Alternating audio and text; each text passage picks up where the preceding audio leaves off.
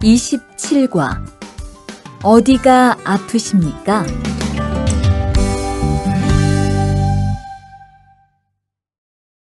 대화 1 투한 씨, 걷는 게 왜 그래요? 발목이 좀 아파요. 발목을 삔 거 아니에요? 빨리 병원에 가보세요. 이 근처에 병원이 있어요? 지하철역 근처에 정형외과가 있어요.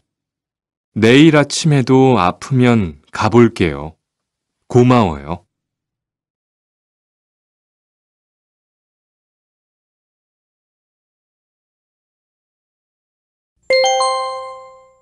대화 2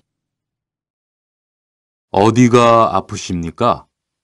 어제 계단에서 넘어져서 발목을 다쳤어요. 어디 봅시다. 여기를 누르면 어떻습니까? 아, 너무 아파요. 발목을 삐었네요. 먹는 약과 파스를 처방해 드리겠습니다. 그런데 발목을 삐었을 때는 많이 걷지 말고 앉아서 쉬어야 합니다. 그리고 찜질을 해주는 것이 좋습니다. 네, 알겠습니다.